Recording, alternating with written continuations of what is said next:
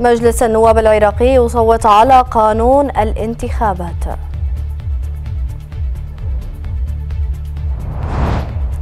جلسة البرلمان الخامسة والعشرين خصصت لتعديل قانون التقاعد وتم رفعها إلى الخميس المقبل. الصدر يقول إن قانون الانتخابات سيقصي كل الأحزاب الفاسدة.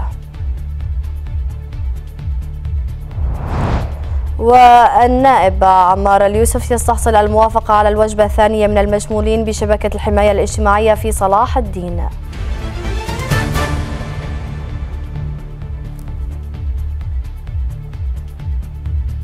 أهلا بكم. أكد مراسلنا في من داخل قبة البرلمان أن مجلس النواب العراقي صوت اليوم على قانون الانتخابات بعد التصويت على بنوده كافة. فيما بين مراسلنا أن خلافات حصلت حول المادتين الثالثه عشر والخامسه عشر من القانون واللتين تخصان موضوعات لها علاقة بالآلية الانتخابية للمكونات.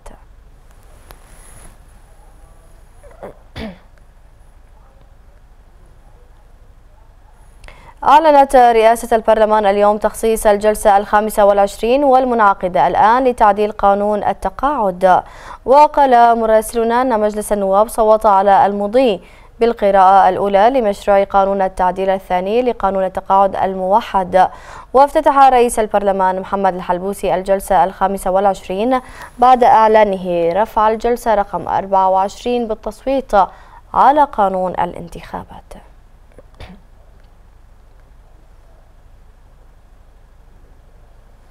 حصلت قناة سمراء على مقطع فيديو يظهر فيه نواب عن تحالف سائرون وهم يحتفلون بإقرار قانون الانتخابات.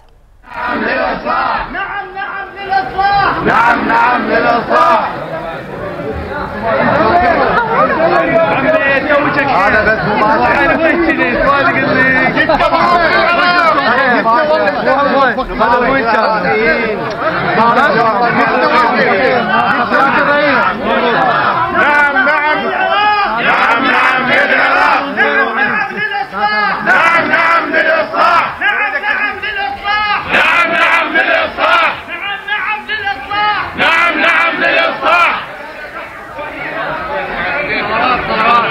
أفلح من صلى على محمد وآل محمد؟ اللهم صل على محمد وآل محمد وعجل فرجه والعن عدوه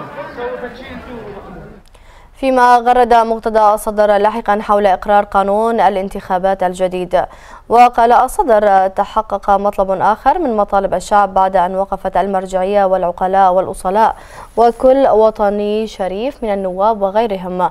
فقانون الانتخابات سيقصي كل الأحزاب الفاسدة ولله الحمد. وننتظر بفارغ الصبر أن تكون مفوضية الانتخابات نزيهة ومستقلة بحق ولن نسمح بغير ذلك. مختتما تغريدته بهاشتاج المجرب لا يجرب ومرشح الشعب سينتصر. أكد النائب عن محافظة نينوى أحمد الجربة اليوم عن أن تمرير المادة الخامسة عشر من قانون الانتخابات بصيغتها الحالية دق سفين تقسيم العراق. وقال الجربة في مؤتمر صحفي عقده داخل البرلمان قال إن الحديث عن الانتخابات المبكرة أكذوبة سياسية ابتدعها البعض لتقسيم العراق. وأشار الجربة إلى أن هناك مشاكل كبيرة بين الأقضية والدوائر المتعددة إداريا لافتا إلى أن التصويت على المادة الخامسة عشر التي اعتمدت الدوائر المتعددة في كل محافظة ستذهب بالبلاد إلى المجهول ونحو تقسيم. وأضاف أن المادة مررت بأجواء سياسية سريعة دون إجراء مداخلات نيابية.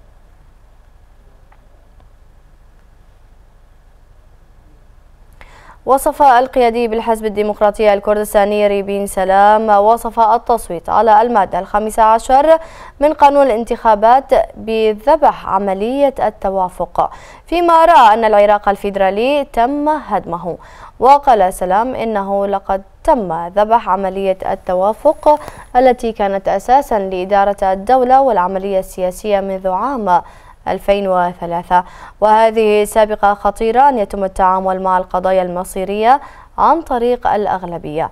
وقال مصدر من داخل المجلس أن مجلس النواب صوت على المادة الخامسة عشر من قانون الانتخابات الخاصة بالدوائر المتعددة داخل المحافظات بعد جدال واسع أثارته هذه المادة بين مختلف القوى السياسية خصوصا الكردية منها. فيما وصف رئيس الجبهة التركمانية العراقية أرشد الصالحي اليوم وصف الحكومة بالعنصرية الطائفية فيما اتهمها بمنع وصول التركمان لمفوضية الانتخابات ومجلس الخدمة. وقال الصالحي في بيان إن حكومة السلطة العنصرية الطائفية في بغداد منعت وصول ممثلي التركمان إلى مفوضية الانتخابات ومجلس الخدمة الاتحادي بحسب قوله.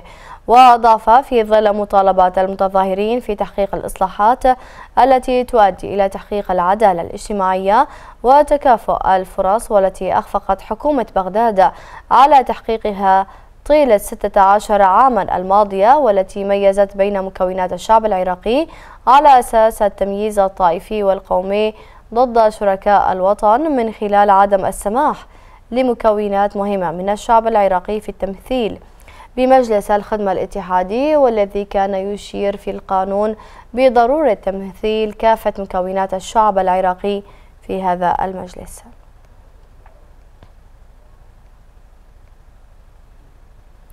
كشف الخبير القانوني أحمد العبادي اليوم عن أن المدة الدستورية الخمسة عشر يوما تبدأ عند الاتفاق على المرشح مؤكدا أنه لا يوجد فراغ دستوري إلى الآن.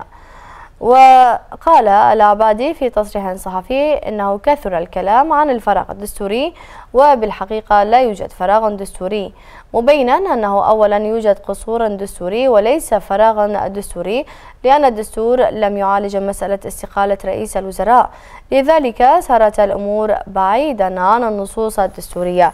وثانيا الحديث عن الفراغ الدستوري لا سند دستوريا له. مشيرا إلى أن المادة السادسة والسبعين تنص أولا.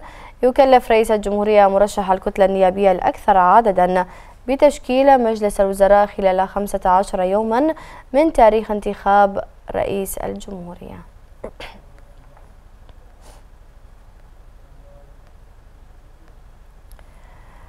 وكانت مواقع أخبارية اليوم قد نشرت وثائق توضح أول دعوى قضائية تطعن بقانون الانتخابات الجديد لمجلس النواب رغم عدم استكمال التصويت عليه في البرلمان.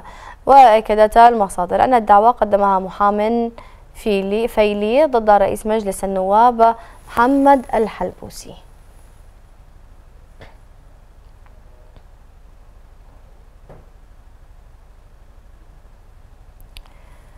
نفى مصدر في رئاسة الجمهورية اليوم وصول أي جواب من رئاسة البرلمان يتعلق بتحديد الكتلة الأكبر في البرلمان. كما نفى مصدر في مكتب رئيس البرلمان العراقي محمد الحلبوسي إرسال كتاب اليوم إلى رئيس الجمهورية بشأن الكتلة الأكبر.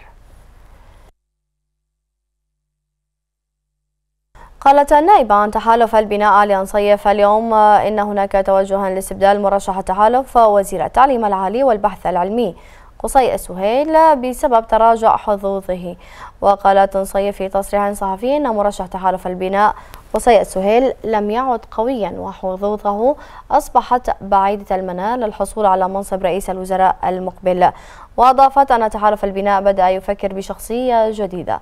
مؤكدة أن التحالف بصدد تسمية محافظ البصرة أسد العيداني لمنصب رئيس الوزراء بدلا عن السهيل.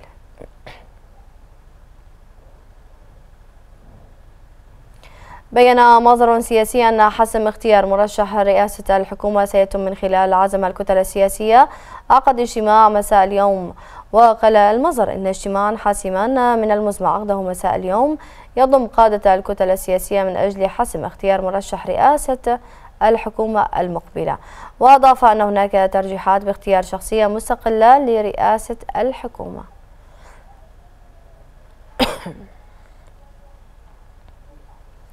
نفى المتحدث باسم مكتب رئيس الوزراء المستقيل سعد الحديثي اليوم تعطيل الدوام الرسمي ليوم غد الأربعاء. وقال الحديثي إن مجلس الوزراء لم يوجه بتعطيل الدوام الرسمي ليوم غد الأربعاء لافتا إلى أن ما تداولته وسائل الإعلام بوجود عطلة رسمية ليوم غد الأربعاء بمناسبة ولادة المسيح عليه السلام غير دقيق وعار عن الصحة. وأضاف أن الدوام الرسمي سيستمر ليوم غد الأربعاء ومجلس الوزراء لم يوجه بعطلة رسمية.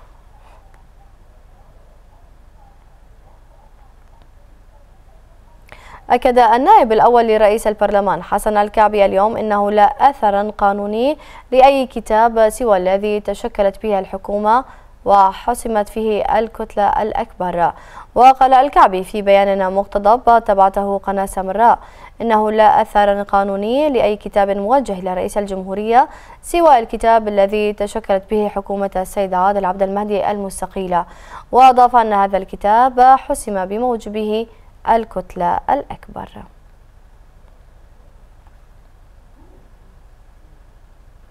أكد رئيس المحكمة الاتحادية العليا القاضي مدحت المحمود دعم حق التعبير عن الرأي لافتا إلى تصدي المحكمة لمصيرية صدرت عنها أحكام وفق الدستور. وقال المحمود خلال لقائه بمكتبه السفير المصري لدى بغداد إن المحكمة الاتحادية العليا حريصة على دعم الحريات العامة في مقدمتها حق التعبير عن الرأي. وأشار المحمود إلى تصدي المحكمة لقضايا مصيرية عدة من خلال اختصاصاتها وأصدرت أحكاما وفق الدستور نصا وروحا. وأكد المحمود على أهمية تعزيز التعاون بين القضاء العراقي والقضاء المصري. في المجال الدستوري وتبادل الخبرات بما يعود للمصلحة العامة للبلدين. استحصل النائب عن محافظة صلاح الدين عمار اليوسف الموافقة على الوجبة الثانية من المشمولين بشبكة الرعاية الاجتماعية من فئة ذوي الاحتياجات الخاصة والأرامل والمطلقات وكبار السن والعجزة جاء ذلك عبر كتاب صادر عن مكتب اليوسف إلى وزير العمل والشؤون الاجتماعية باسم عبد الزمان والذي أحال أحال الموافقة إلى شبكة الحماية الاجتماعية في وزارة العمل لاتخاذ ما يلزم بصدد التخصيصات وما يتبعها من إجراءات لأكثر من 1200 مستفيد من أهالي محافظة صلاح الدين.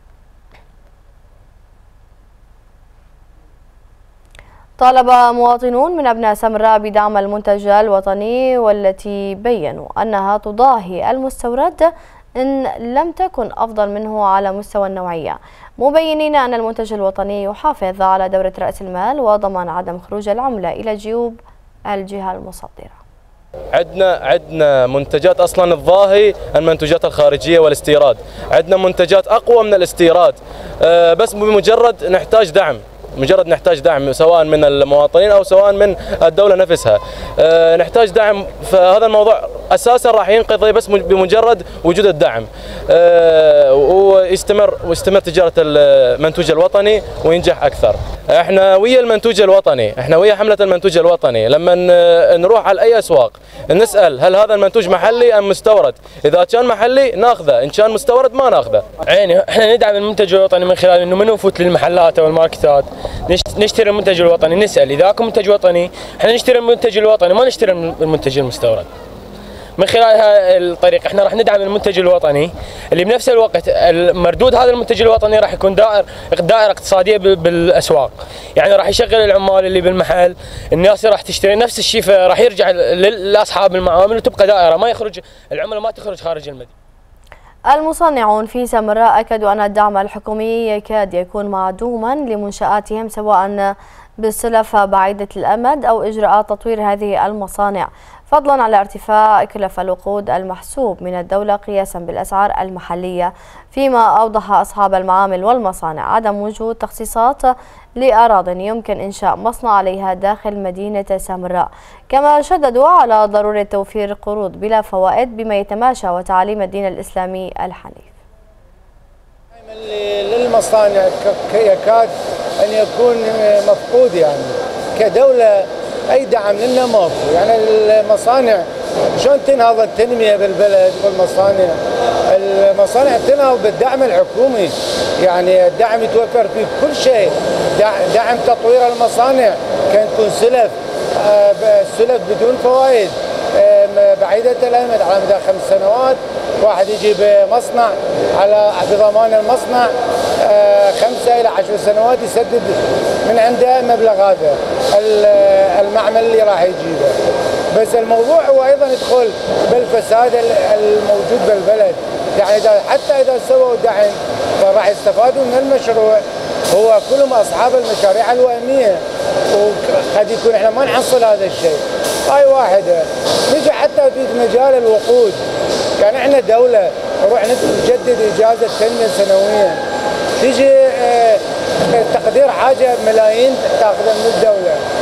هاي الملايين هذا الغاز يا بيعطونا غاز حصة تدفع فلوس آه مال تقدير حاجة.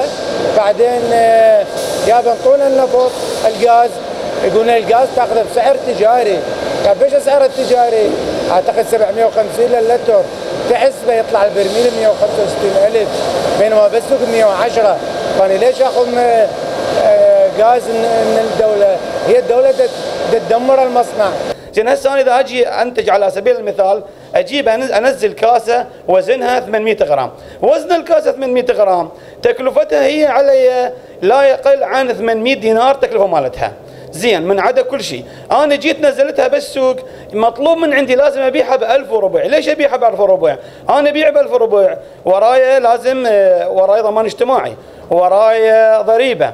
ورايا إيه على التنمية الصناعية ضرائب مال التنميه الصناعيه كل هذه علي. فاني من جيت هالساعه نزلتها بالسوق أنصدم بالسوق. المستهلك ما يأخذها من عندي ب 1000 وربع راح يجبرني يأخذها من عندي. أبو المحل يأخذها مني ب 1000 لازم ليش ابيعها هسه اني كبو معمل هالساعة.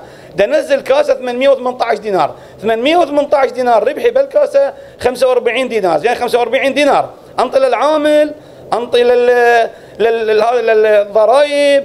انطي للغاز يعني طبعا الغاز. الغاز إذا أجي أنا أجي لك على الغاز. إذا أنا أبو معمل هسه مجال صحيا صناعيا علامة تجارية كلها. إذا أجي على الغاز أسوي معاملة مال غاز لازم يراد لسنه يلا كملها. ورا ما أكملها أنصدم بسعر وهو شنو؟ السعر السائد بالسوق يعني أقدر اني أجيب هذا الغاز من أي محطة نفس السعر. من أي محطة؟ نفس السعر راح اجيبه اذا أنا ما أسوي شيء. وين الدعم الموجود؟ زين أريد أقدم قرض على المود. أصل المستوى راقي من إنتاج. لازم تعبئة أو تغليف على المود. ثقافة المستهلك أو ثقافة المستهلك يدور تغليف يدور شيء راقي يظهر المستوى. النشرة مستمرة. أهالي الحردانية يؤكدون عبر أهالي الحردانية جنوبي صلاح الدين عن امتعاضهم جراء الوضع المأساوي الذي تعيشه ناحيتهم بسبب عدم توفر مياه صالحة للشرب.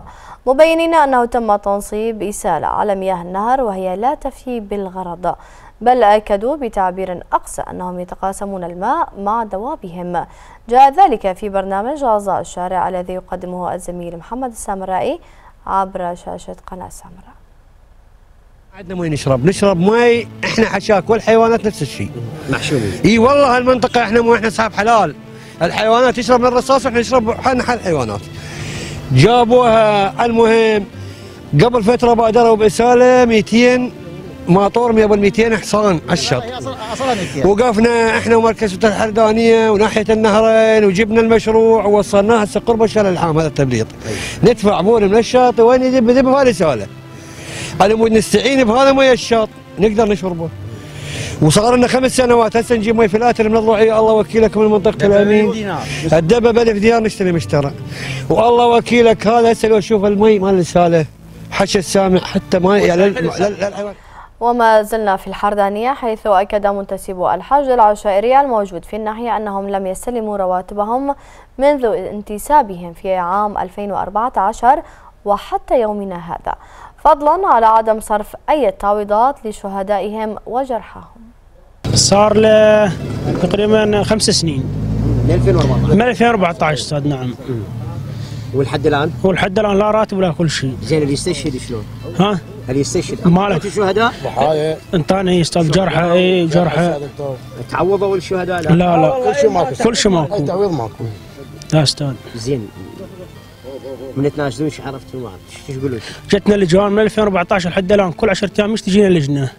تأخذ فايلات أستاذ وشي ما ويطلع لنا كل شيء من 2014 من 2004 الآن تداومون بدون رواتب؟ بدون راتب لحد الآن. زين شلون عايشين أنتم؟ عايشين والله أستاذ شو نسوي قاضين منطقتنا. إذا خلف وقتك. قاضين من منطقتنا هذه. لازمين منطقه لازمين منطقتنا. اي بحكم أنتم مامنين الحماية لأهلكم وناسكم. اي يعني والله مبادرة يعني يعني كلش ممتازة إنه ابن المنطقة هو يلزم المنطقة ويكون بها ويدافع عنها ويأم ويأمنها بنفس الوقت. يعني المفروض يعني أكو التفات يعني مقاتل أربع سنوات أنت ما موفر له راتب وخمس سنوات ما موفر له راتب. يعني هذا مقاتلين يعني يعني الناس معرضين للموت بكل دقيقة وداعش لا قال قائم مقام العلم ليث حميد إن قرى القضاء تستفيد اليوم من حملة إعمار وبناء للمدارس وإسالة ماء وأعمال التبليط. مبينا أن هذا يأتي ضمن التوجه العام بشمول جميع الأقضية والنواحي بالخدمات سواء داخل مركز القضاء أو خارجه اليوم في منطقة ترشيدية العائدة هي قرية من قرى آه، قضاء العلم عائدة إلى الوحدة الإدارية. آه، هذه المناطق تعتبر آه، المتطرفة أو تقع في الجانب القريب من نهر دجلة حيث يحدها نهر دجلة بينه وبين قرية المحزم هذه المناطق كانت تشكو من سوء الخدمات وقلة التبليط والمدارس وتوجهت كوادرنا في هذا العام والحمد لله بتبليط أكثر من كيلوين داخل هذه البيوت ما استطاعت أهل هذه المناطق التواصل مع المجتمع ووضع بيت صحي أيضا وتنصيب إسالة ماء تخدم سمرة ومنطقة الرشيدية بالتحديد.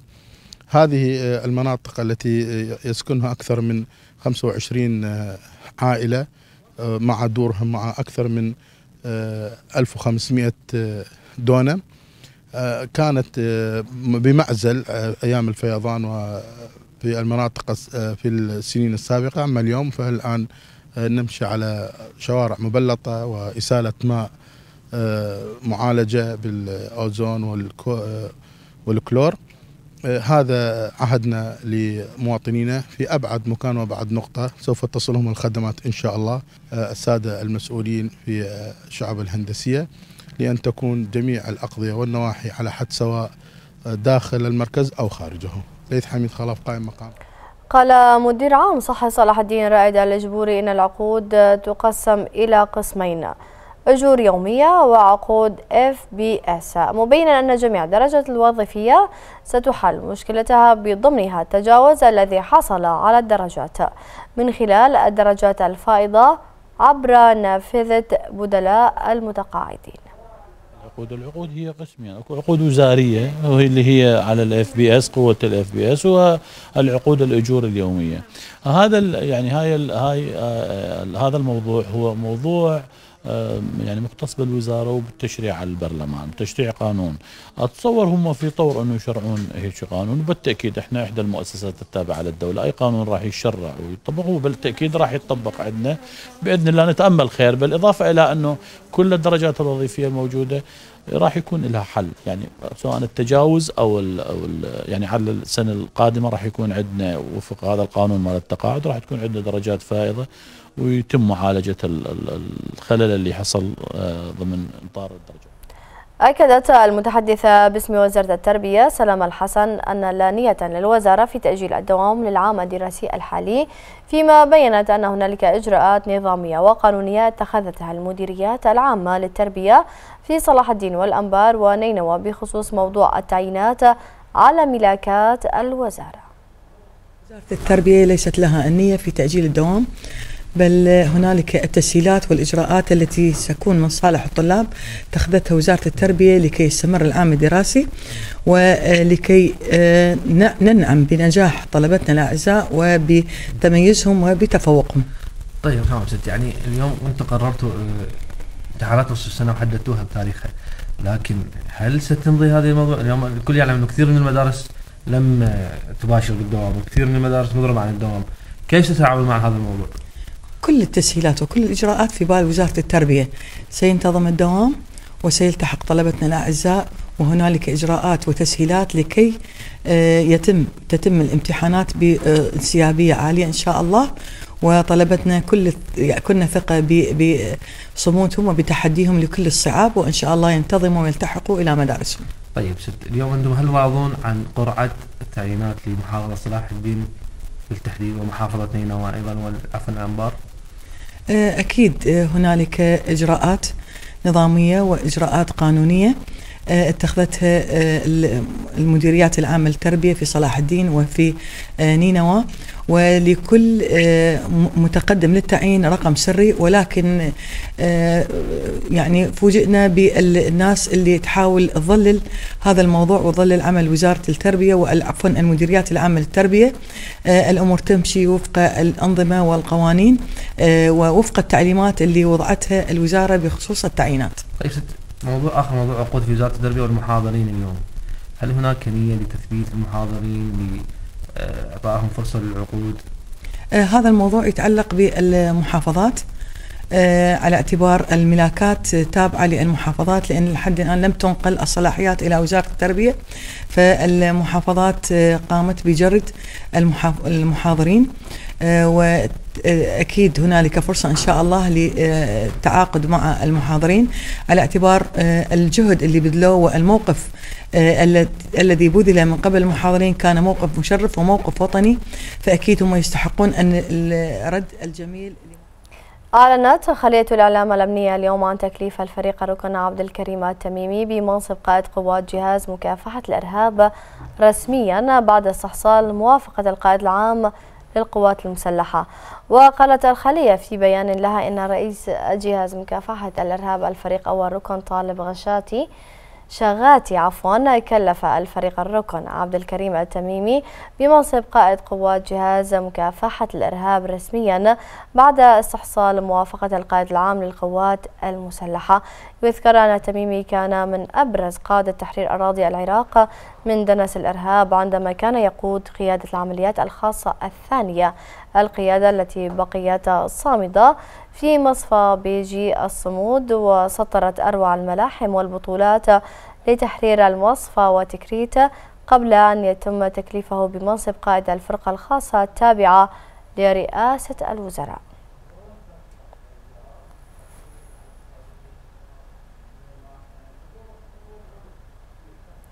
والآن انتقال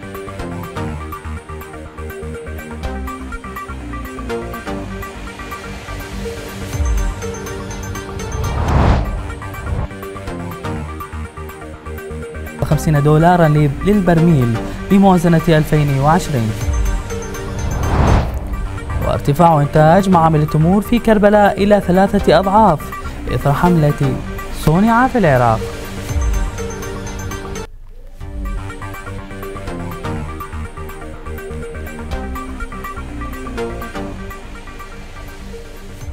أهلا بكم من جديد.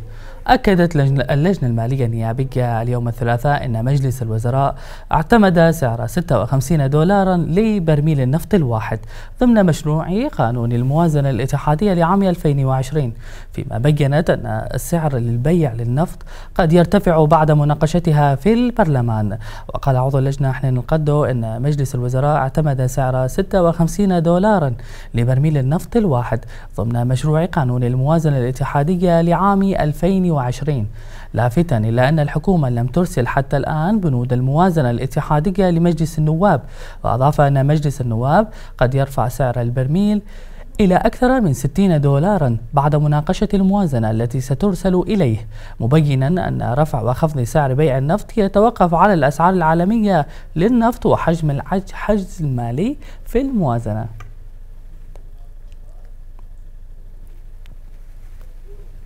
أعلنت وزارة التخطيط الثلاثاء إطلاق صرف أكثر من 41 مليار دينار ضمن برنامج تنمية الأقاليم. وذكر المكتب الإعلامي للوزارة في بيان أن وزير التخطيط نوري صباح الدليمي صادق على إطلاق صرف 41 مليارا و693 مليون دينار بهدف بناء 82 مدرسة في محافظة واسط وتحسين واقع الخدمات في محافظتي كركوك والأنبار وذلك بعد استكمال حكوماتها المحلية لمتطلبات إدراج المشاريع.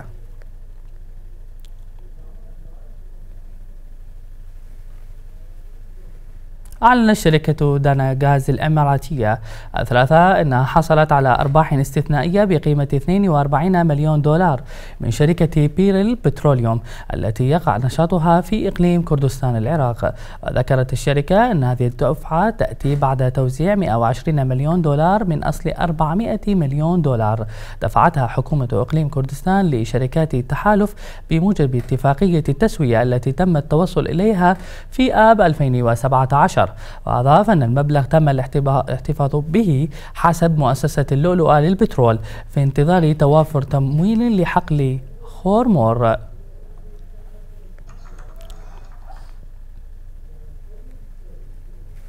أعلنت هيئة النزاهة اليوم الثلاثاء عن ضبط حالات تلاعب في اثنين من التصاريح الجمركية في مركز جمرك ميناء أم قصر الشمالي.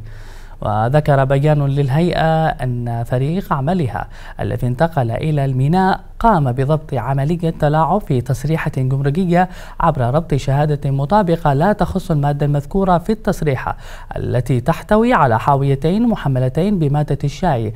وأضاف البيان أنه تم ضبط تلاعب في تصريحة ثانية تشتمل معاملتها الجمركية التي أنجزت على ست حاويات في حين أن شهادة المطابقة موجود لثلاثة حاويات. فقط مبينا أن التصريحتين الجمركيتين تعودان إلى شركة واحدة وتتعلقان باستيراد مادة الشاي.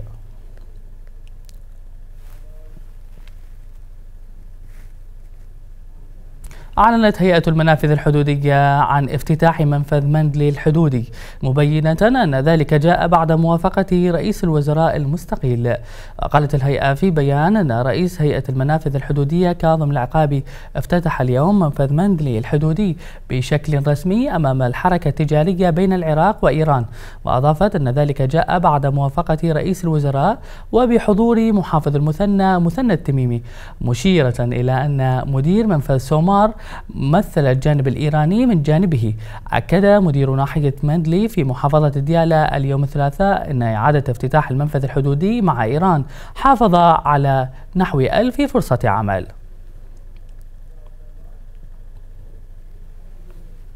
أخيرا شهدت معامل تعليب التمور في كربلاء المقدسة انتعاشا ملحوظا بعد حملة دعم المنتوج الوطني التي شهدتها البلاد مؤخرا.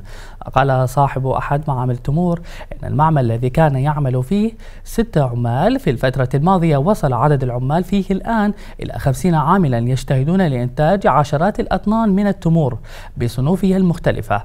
وأضاف إن حملة حملة دعم المنتج الوطني ساعدت أصحاب المعامل على رفع إنتاجها إلى عشرة أضعاف يوميا مع ازدياد أعداد العمال فضلا عن تعليب صنوف مختلفة من التمور حسب طلبات السوق المحلية.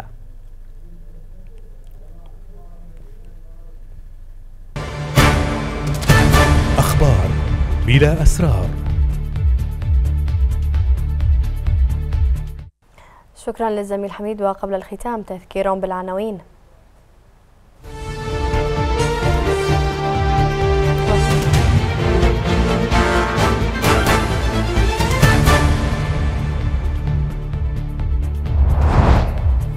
مجلس النواب العراقي يصوت على قانون الانتخابات.